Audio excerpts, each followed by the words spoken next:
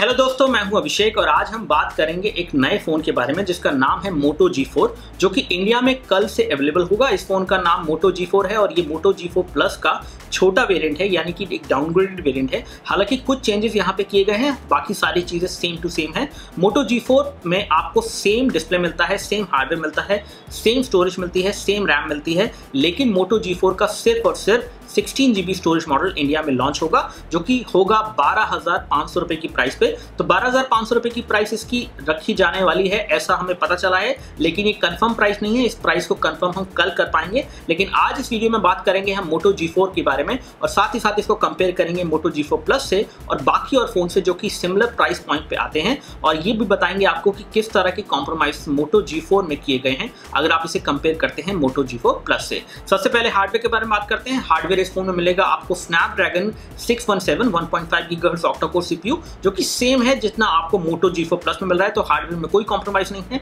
Storage के मामले में यहाँ पे 16 जीबी की स्टोरेज मिलेगी, जो कि सेम आपको मोटो जी प्लस में मिलती है। लेकिन यहाँ पे जो एक कॉम्प्रोमाइज किया है कंपनी ने, वो ये है कि इस फ़ोन में आपको फिंगरप्रिंट सेंसर नहीं मिलता है। और कैमरा के मामले में भी यहाँ पे कॉम्प्रोमाइज है। इस फ़ोन के अंदर आपको जो कैमरा मिलेगा, वो मिलेगा 13 मेगापिक्सल का, जबकि आपको मोटो जी प्लस में मिलता है 16 मेगापिक्सल का कैमरा तो कंपैरिजन के मामले में इसके मेगापिक्सल कम है और कैमरा सेंसर भी अलग है। इस फ़ोन में आपको फेस डिटेक्शन ऑटो फोकस और लेजर ऑटो फोकस भी नहीं मिलता है, जो कि आपको मोटो जी प्लस में मिलता है। तो कैमरा में यहाँ पे कॉम्प्रोमाइज किया गया है और दूसरा कॉम्प्रोमाइज जो इस फ़ोन में है, वो है कि इस फ़ोन के अंदर आपको फिंगरप्रिंट सेंसर नहीं मिलता है, जबकि मोटो जी प्लस में आपको फिंगरप्रिंट सेंसर मिलता है। तो इस तरह से ये फ़ोन कंपेरिजन में आता है। अगर हम बात करें बाकी और चीज़ों के बारे में तो 5.5 इंच का फुल एच डिस्प्ले आपको मोटो G4 में मिलेगा।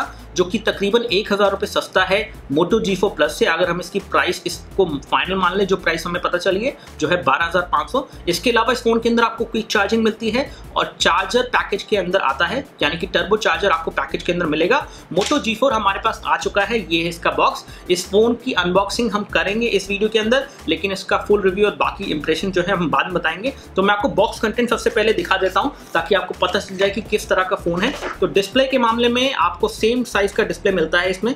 5.5 इंच का same display full H display इसमें मिलता है, जबकि कैमरा यहाँ पे आपको 13 मेगापिक्सल मिलता है, जो कि ऑटो फोकस कैमरा है हाई डेफिनेशन के वीडियो रिकॉर्ड कर सकते हैं, लेकिन इसमें आपको फेस डिटेक्शन ऑटो फोकस और लेजर ऑटो फोकस यहाँ पे नहीं मिलता है। साथ ही साथ फिंगरप्रिंट सेंसर यहाँ पे नहीं दिया गया है तो वो भी एक कॉम्प्रोमाइज है। हालाँकि स्टोरेज और रैम दोनों ही सेम है। इस फ़ोन में आपको सोलह जीबी की स्टोरेज और दो जीबी की रैम मिलेगी और साथ ही साथ मोटो जी सिर्फ़ और सिर्फ़ सोलह जीबी वर्जन में आएगा। बत्तीस जीबी की स्टोरेज मॉडल में ये फ़ोन आपको नहीं मिलेगा। यानी कि सिर्फ़ एक ही मॉडल इस फ़ोन का आपको मिलने वाला है। बात करते हैं इसके पैकेज कंटेंट्स के बारे में कि क्या क्या चीज़ें इसके पैकेज में आ रही हैं। तो ये सारी चीज़ें इसके पैकेज में आएँगी, जिसमें है पहली चीज़ फ़ोन के बाद आपका टर्बो चार्जर तो टर्बो चार्जर आपको पैकेज में मिलता है, जो कि ये है। इसके बाद अगर हम देखें तो इसके अंदर आपको माइक्रो यूएसबी केबल मिलती है, जो कि डेटा सिंकिंग और चार्जिंग के लिए आप यूज़ कर सकते हैं। हालाँकि ये टर्बो चार्जर इस फ़ोन के साथ चलेगा, लेकिन बाकी और फ़ोन के साथ शायद ना चले। इसी के साथ आपको बहुत ही बेसिक क्वालिटी के हेडफोन मिलते हैं, जो कि बिल्कुल बेकार है। इससे बेटर तो आप हेडफोन बाहर जाके मार्केट से ले लीजिए तो आपको अच्छी साउंड क्वालिटी उनसे मिलेगी। तो फ़ोन के अंदर आप देखें, अगर पैकेज के अंदर तो यूज़र मैनुअल्स मिलते हैं फ़ोन मिलता है, ये चार्जर वगैरह मिलते हैं और यही सारी चीज़ें इस पैकेज के अंदर मिलती हैं। अगर हम सार वैल्यूज़ की बात करें तो सार वैल्यू जो यहाँ पे मेंशन है, वो है 1.086 वाट पर केजी और हेड के लिए और बॉडी के लिए है 1.48 वाट पर केजी और आप इन सार वैल्यूज़ को यहाँ पे देख सकते हैं। अगर आप इसको ठीक से देखें तो यहाँ पे सार वैल्यूज़ जो है मेंशन है। तो सार वैल्यू थोड़ी सी हाई है, लेकिन परमिसेबल लिमिट के अंदर है। 1.48 वाट पर केजी बॉडी के लिए सार वैल्यू इन इसमें दी गई है।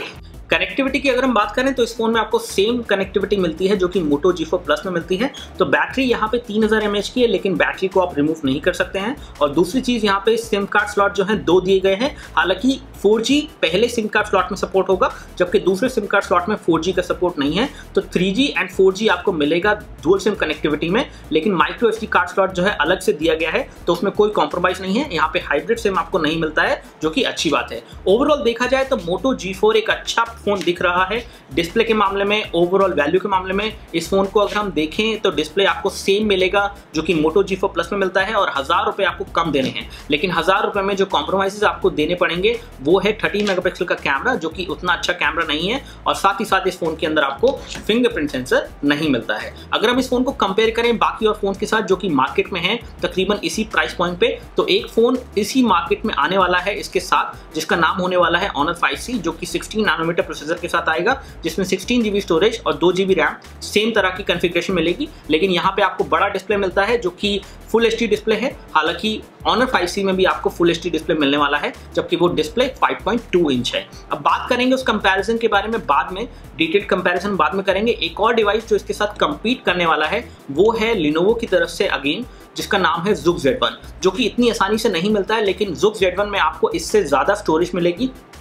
जुक जेड में इससे ज़्यादा रैम मिलेगी ऑलमोस्ट सेम प्राइस पे जितनी प्राइस आप मोटो G4 के लिए देने वाले हैं। तो कुछ इस तरह से इसका कंपैरिजन होता है मोटो G4 प्लस के साथ जुक Z1 के साथ, या फिर ऑनर 5C के साथ, जो कि हम डिटेल में बाद में करेंगे। ये कुछ इनिशियल पॉइंट्स हैं जो मैं आपको बता दे रहा हूँ। अब ये वीडियो कोई रिव्यू वीडियो नहीं है, ये एक इनिशियल वीडियो है, जिसके अंदर हमने आपको एक इस मोटो G4 के बॉक्स कंटेंट्स दिखा दिए हैं। इसकी प्राइस आपको बता दी है ऑलमोस्ट कि क्या प्राइस पे ये फ़ोन आने वाला है, लेकिन ये प्राइस कंफर्म नहीं है। और ये सारे पॉइंट्स जो हैं, ये सिर्फ़ एक तरह से इसके प्रोज एंड कॉन्स हो जाते हैं, अगर आप कंपैरिजन करें। लेकिन आप इस वीडियो को रिव्यू वीडियो मत मानिए और हमारे अनबॉक्सिंग और रिव्यू का वेट कीजिए। उसके अंदर आपको और बेहतर इस फ़ोन के बारे में पता चलेगा।